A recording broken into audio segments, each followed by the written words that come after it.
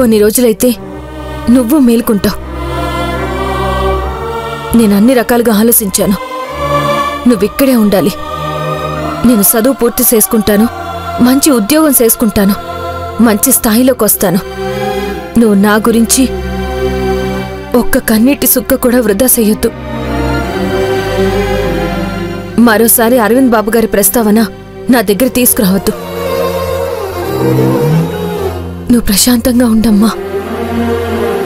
జాగ్రత్త. మళ్ళీ. మళ్ళీ.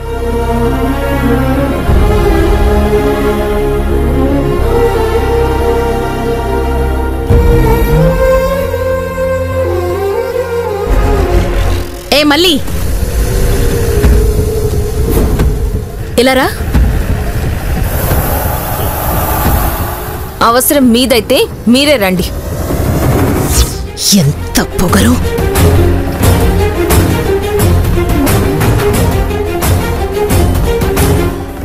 అక్కడ అడగాల్సిన మాటలు ఇంకేమైనా మర్చిపోయారా?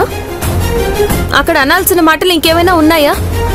అడగండి అనేయండి చిన్న షెల్టర్ దొరికిందని చిన్న ఉద్యోగం దొరికిందని. నువ్వు రెచ్చిపోయి హక్కుల గురించి మాట్లాడుతున్నావు? మరి నేనెంత మాట్లాడాలి? ఏం మాట్లాడతారో మాట్లాడండి.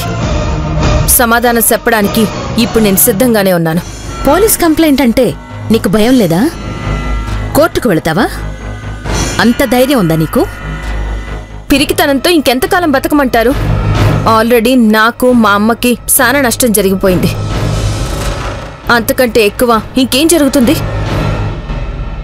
ఇంతకు ముందు నన్ను సంపబోయారు. ఈసారి కూడా అలాంటి పనే చేస్తారు. అంతే కదా? నా సావు మీ చేతుల్లోనే రాసి పెట్టుంటే అలాగే జరుగుతుంది.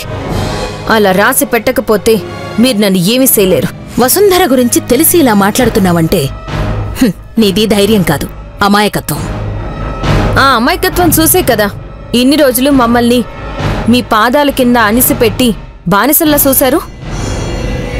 ఆ బానిస సంఖ్యల్ని తెంచుకున్నాను వసుంధర గారు. నా మెళ్ళో తాళిని తీయించినంత సులభం కాదు. మా అమ్మని ఇంటి నుంచి పంపించేయడం సులభం కాదు సాధ్యం కాదు అని డైలాగులు చెప్తున్నావు కదా? అయితే జరగబోయేది నేను చెప్తాను నువ్విను రెండు రోజులు రెండే రెండు రోజుల్లో మీ అమ్మ మీ అమ్మమ్మ నాకు దండం పెట్టి జరిగిన దానికి క్షమించమని అడిగి నా ఇంటి నుంచి పారిపోయేలా చేస్తాను. అప్పుడు అప్పుడు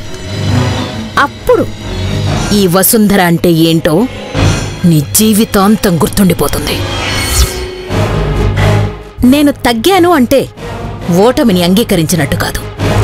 స్కెచ్ వేయడానికి సిద్ధపడుతున్నాను అని. నేనొకడుగు వెనక్కి వేశాను అంటే దానర్థం వందడుగులు ముందుకు దూకడానికి అని. నేనొకడుగు వెనక్కి వేశాను అంటే దానర్థం వందడుగులు ముందుకు దూకడానికి అని. నీ ధైర్యం ఎంతో నా బలం ఎంతో ఇద్దరం చూసుకుందాం. నీ పోరాటం ఎంతో నా ప్రతాపం ఎంతో చూసుకుందాం. హ, చిట్టెలుక శివంగితో పోరాడి ఎలా గెలుస్తుందో అది చూసుకుందాం. Only two days two days Khel కథం దుకాణం బంద్ ఓకే? నీకు దమ్ముంటే నాతో తలపడవే. వసుంధర గారు!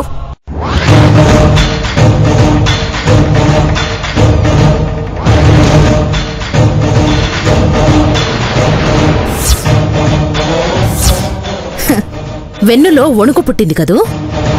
అయితే నా కాళ్ళ మీద పడి క్షమించమని వేడుకుని మీ వాళ్ళని తీసుకుని సైలెంట్గా వెళ్ళిపో.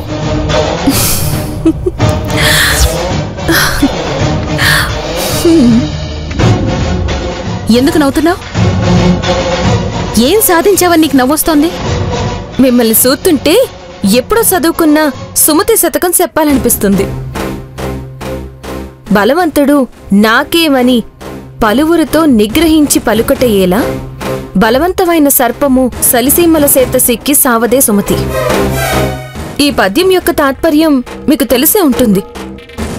ధనబలం ఉందని మీరు విర్రవిగితే సలిసీమల సేతిలో చచ్చిపోయిన విషసర్పానికి పట్టిన గతే మీకు పడుతుంది.